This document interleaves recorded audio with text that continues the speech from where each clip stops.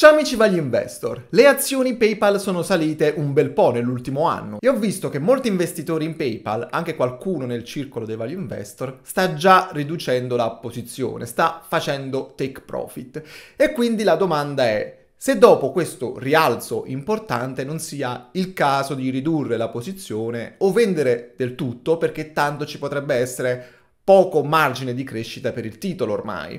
E per rispondere a questa domanda, secondo me dobbiamo capire quali sono le prospettive dell'azienda, se ci sono catalizzatori di crescita, se ci possiamo aspettare un ulteriore miglioramento dei fondamentali e quindi del valore del titolo. E nel fare queste considerazioni ci potrebbero aiutare i dati su come è andato il mese di novembre, un periodo molto importante per PayPal in quanto ci sono i Black Friday, Cyber Monday, i primi acquisti per Natale, eccetera, e anche avere un feedback dal management sui risultati che stanno ottenendo tutte le novità introdotte quest'anno come Fastlane, le carte di pagamento fisiche, il restyling delle app, le campagne pubblicitarie, eccetera.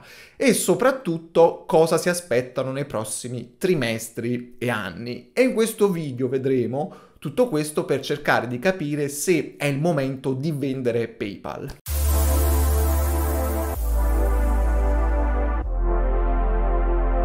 Iniziamo subito cercando di capire che interesse c'è sull'app di PayPal, perché sappiamo bene che una delle principali preoccupazioni del mercato è che il numero di utenti non cresca più, che la gente usi sempre di meno l'app PayPal.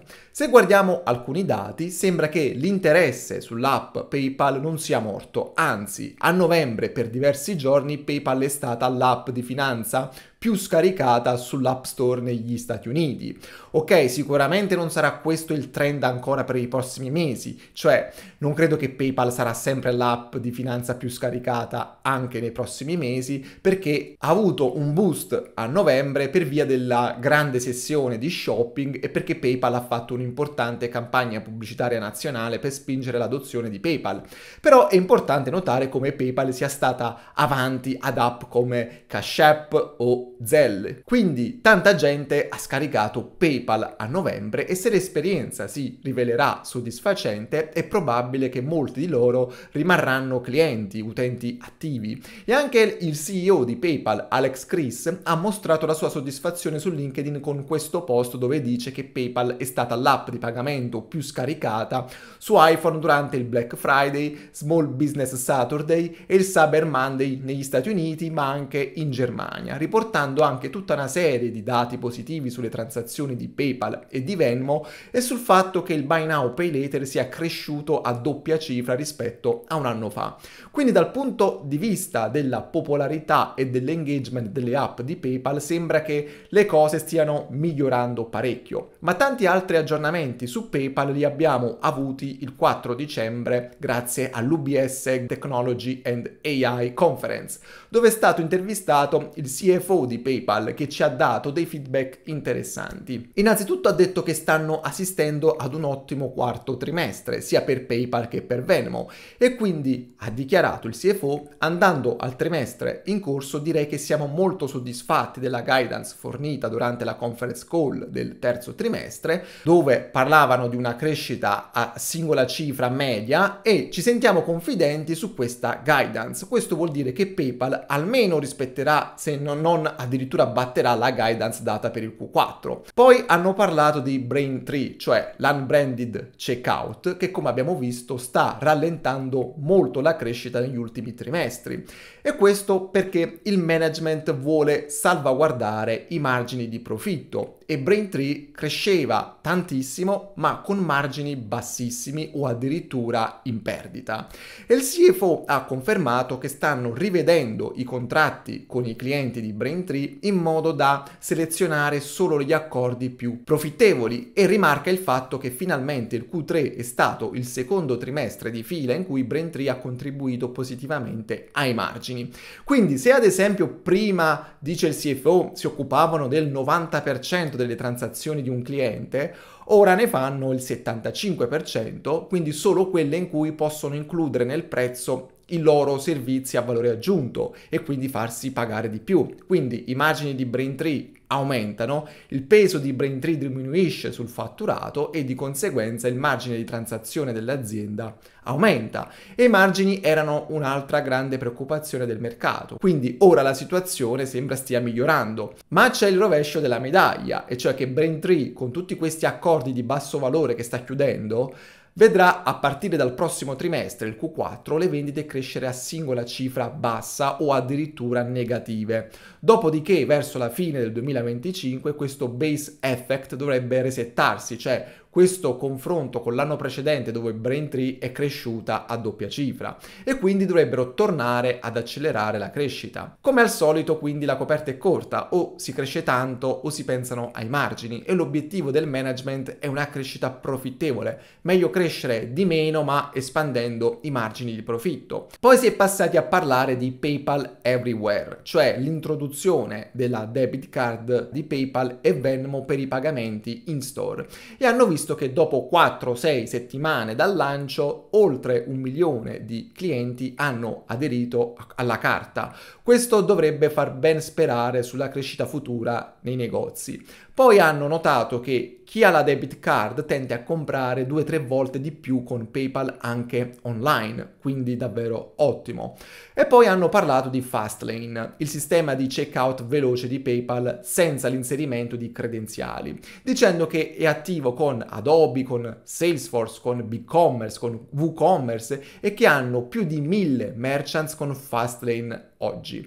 E Fastlane davvero migliora l'esperienza degli utenti perché è in grado di identificare solo tramite l'inserimento della mail 170 milioni di utenti, di consumatori, migliorando così il tasso di conversione al carrello. E se Fastlane converte di più rispetto alle alternative, l'intento del management è quello di far pagare al merchant questo valore aggiunto, quindi monetizzare questa tecnologia. Ma questa è una cosa che non vedremo per almeno tutto il 2025. Infatti il CFO ha detto che al momento sono concentrati sulla diffusione di Fastlane, sulla crescita di Fastlane e sull'avere quanti più merchant possibili che lo adottano. E ha aggiunto che quindi non l'hanno ancora monetizzato come si deve perché devono creare questo vantaggio competitivo di network effect prima. Altra cosa interessante che ha detto il CFO è che da inizio 2024 il numero di dipendenti è stato ridotto del 10% attraverso diverse automazioni e togliendo personale in eccesso ai vari team e questo risparmio è stato reinvestito in marketing e ingegneri per la ricerca e sviluppo di prodotti e tecnologie. Quindi le spese in marketing, ricerca e sviluppo comunque dovrebbero aumentare nel 2025 a singola cifra almeno e questo direi che ci sta per un'azienda che deve accelerare la crescita. E infine si è parlato di Venmo. Il CFO ha detto che è l'app numero uno di peer-to-peer negli Stati Uniti con più di 60 milioni di utenti attivi mensilmente e il punto di forza di Venmo è che è usata principalmente dai giovani, quindi possono vendere questo bacino di utenti ai merchants perché se un'azienda vuole raggiungere i giovani è più facile farlo usando Venmo. Stanno investendo tanto nell'app Venmo con un nuovo design, nuove funzionalità e stanno spingendo anche tanto il Pay with Venmo per monetizzare quest'app. E infatti i pagamenti fatti attraverso il checkout di Venmo sono aumentati del 30% rispetto a un anno fa e anche i pagamenti con la debit card Venmo hanno visto un incremento del 20% su base annua. Allora, in conclusione, secondo me la parte di sottovalutazione folle del prezzo di PayPal è ormai coperta dal mercato. Parlo soprattutto di quando Chris aveva detto che avrebbe scioccato il mondo e chissà cosa si aspettava il mercato, ma è stato deluso dalla successiva presentazione di Chris e il prezzo era crollato a 50-60 dollari. Ma quella è stata la cosa migliore che Alex potesse fare per chi voleva comprare azioni PayPal, perché grazie a quella dichiarazione molti di noi hanno comprato azioni PayPal a prezzi ridicoli, mentre i fondamentali non erano minimamente cambiati. Quindi dovremmo inviare una bottiglia di Dom Perignon questo Natale ad Alex. E oggi non credo ci sia più questa sottovalutazione assurda sul titolo, perché in quel periodo il free cash flow yield forward era arrivato addirittura all'11-12%, però siamo ancora a livelli alti di free cash flow yield e al tempo stesso l'azienda mi sembra in una fase molto propositiva e quindi potrebbe migliorare ulteriormente questo free cash flow perché tanti nuovi servizi e prodotti lanciati quest'anno ancora non hanno fatto vedere i loro effetti, ancora non hanno raggiunto la scala sufficiente o ancora non sono monetizzati. Ci sono però le preoccupazioni per la crescita crescita delle revenue. Se Braintree avrà crescita zero in media nei prossimi 3-4 trimestri, allora è probabile che PayPal non crescerà come revenue più del 5-6%. Infatti questo è quello che si aspettano gli analisti per il 2025.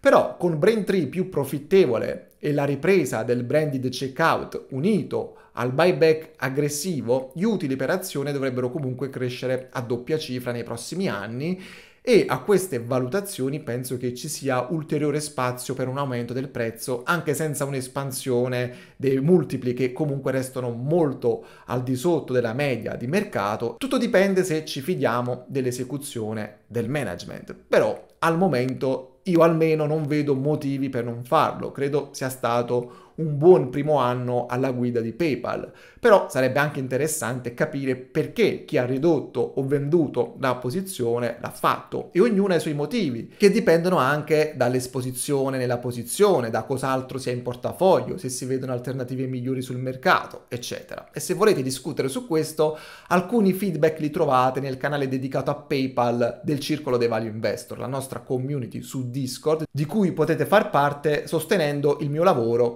Patreon. Link in descrizione, fatemi sapere la vostra su PayPal nei commenti, un like al video se vi è piaciuto e ci vediamo alla prossima. Ciao da Davide.